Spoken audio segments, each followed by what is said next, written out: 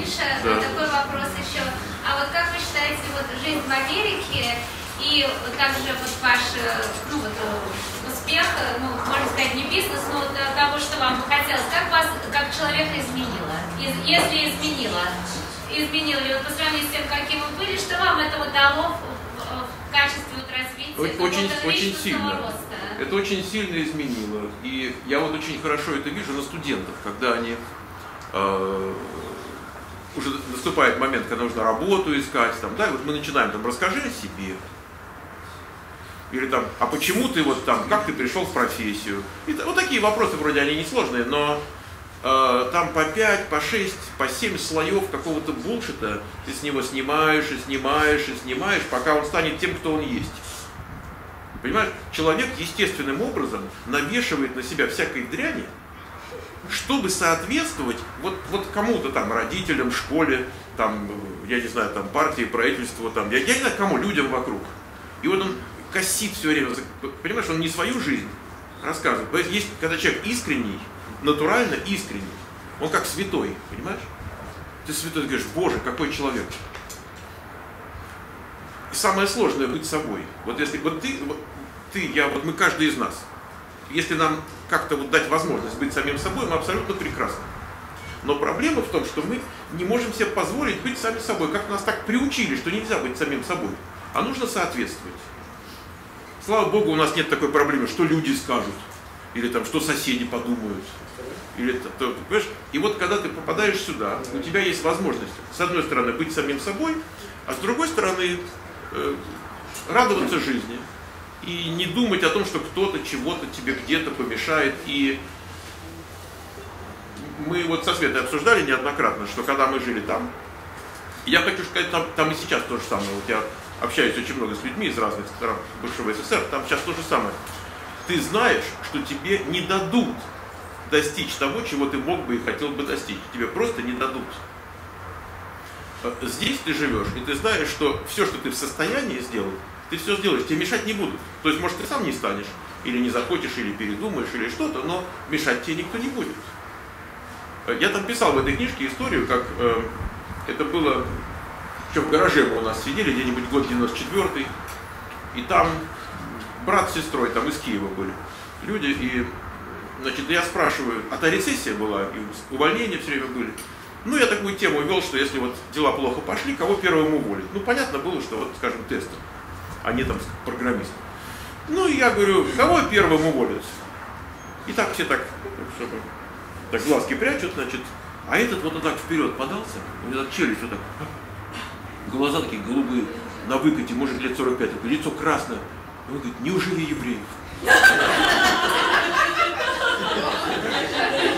Но, но, но, но, мы, но, но он же там 45 лет с этим прожил, понимаете? Поэтому, ну, конечно, э, конечно, оно потихоньку с тебя сходит. И ты начинаешь э, уходить из состояния, когда тебе обязательно помешают, и всегда кто-то виноват. Понимаешь, ты говоришь, ну, если кто-то виноват, наверное, это я. Может, я еще не так сделал. Там, ну, поэтому, конечно, это очень, очень очищает. Вот, вот жизнь, здесь просто жизнь. Очень очищает. Она смывает налет вот этого не своего. Поэтому, и это сразу видно, когда человек врет, когда он неискренний, когда он миллионы там, миллионы просмотров на гугле там Tell me about yourself, why should we hire you? Какие у тебя weaknesses? У меня пи- 42 книжки есть по поиску работы. У меня коллекция хорошая. 39 на вопрос, какие у тебя недостатки, учат, как собрать лучше.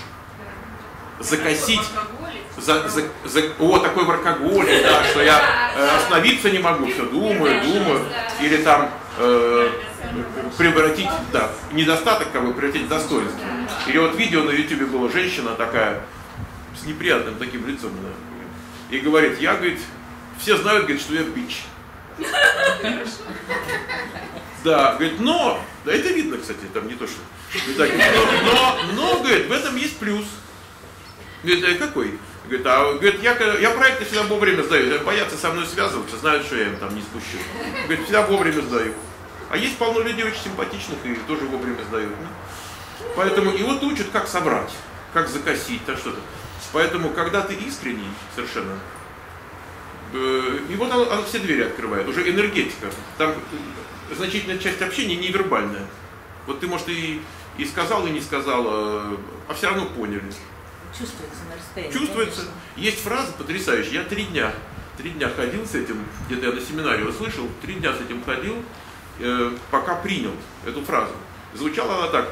Ты, э, you cannot say the wrong thing to the right person. То есть, если человек правильный, ну, ты хоть что скажи, ну, ну все равно он понимает. То есть, есть что-то, кроме слов, понимаешь? Ты можешь погуглить правильный ответ, но если не твой ответ, то все. И вот это вот, э, вот, вот это вот оно и есть ответ. Будь самим собой. Да? Во-первых, ты больше удовольствия от жизни получишь. Во-вторых, тебя любить будут больше все остальные люди. То есть ты будешь что-то такое туда отдавать, что оно будет возвращаться к тебе троекратно. В хорошем отношении. э? Вы говорите про интервью или про жизнь? Про жизнь, Про жизнь, конечно. про жизнь. Но не про интервью, потому что я на интервью сталкивалась с тем, когда люди говорят правду и тем самым закрывают себе двери. У, Наглухо. у Григория Горина есть такая фраза, э, говорит, думай, что говоришь, когда говоришь, что думаешь. Поэтому не всякая правда это то, что ты приносишь на интервью. Допустим, тебе нужны деньги. Ты говоришь, почему ты стал тестером? Ну ты же не говоришь, потому что деньги нужны. Или там, почему ты стал тестером из там, я не знаю, из бухгалтеров. Но, ну, но, но с другой стороны, вот спросите врача, почему врач стал врачом? Он же вам не скажет, что же деньги люблю. Он скажет, я люблю людям помогать. Но, ну правильно, Нет, вот но это должно быть частью правды. Это Да, часть- это часть правды. Иначе, э, если он не любит людей, а как он может каждый день он, он выбирал профессию, Да. которая дает определенный уровень жизни, Нет, есть обеспечивает. такие врачи, которые людей ненавидят, конечно, но тогда не факт, что они... Послушай, у меня была, у меня была девочка, 23 годика, закончила вот Хейвардский университет, он как-то сейчас по-другому называется. Китаяночка, такая ласточка, симпатюля такая, глаза горят прямо такая. И мастер дегри компьютер сайенс. И я ей говорю, так э, как ты себя видишь так лет через пять? Вот о наивных людях, да, об искренних. Она говорит, in between us? Я ее интервьюирую. Она говорит, in between us? Я говорю, just you and me. И она говорит, я бы хотела, говорит, э, там, join my mom in her fashion design business. Я говорю, так, а что бы ты сразу не пошла в fashion design бизнес? Она говорит, денег надо заработать, что же я, говорит, без денег приду? Я говорю, ну да, говорю, а так ты могла бы в университете уже изучать fashion дизайн, что ж ты компьютер сайенс изучала? Она говорит, это мой backup.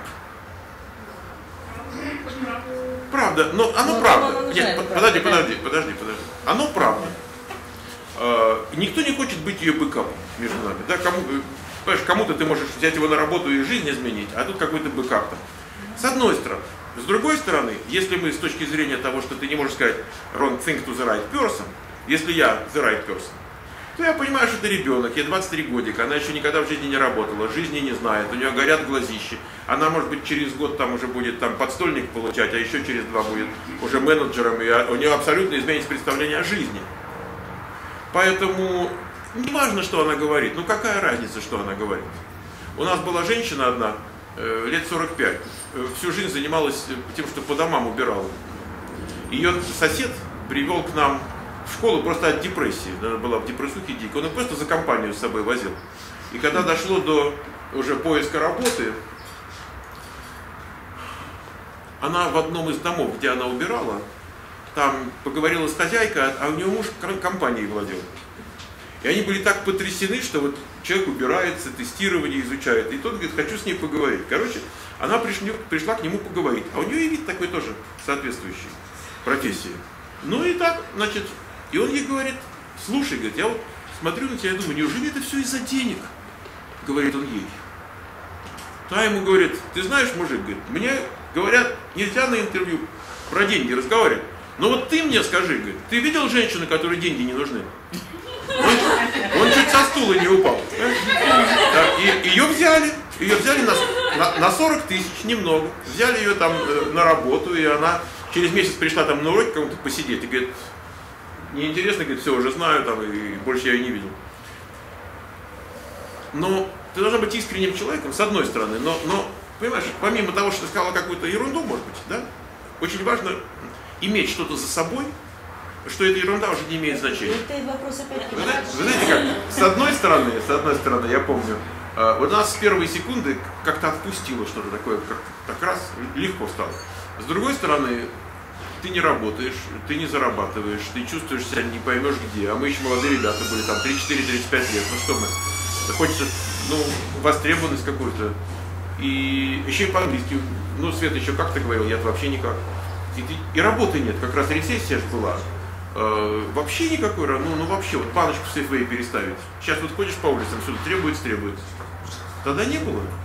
Э, и вот у меня был, был момент, я прям кум в горле стоял.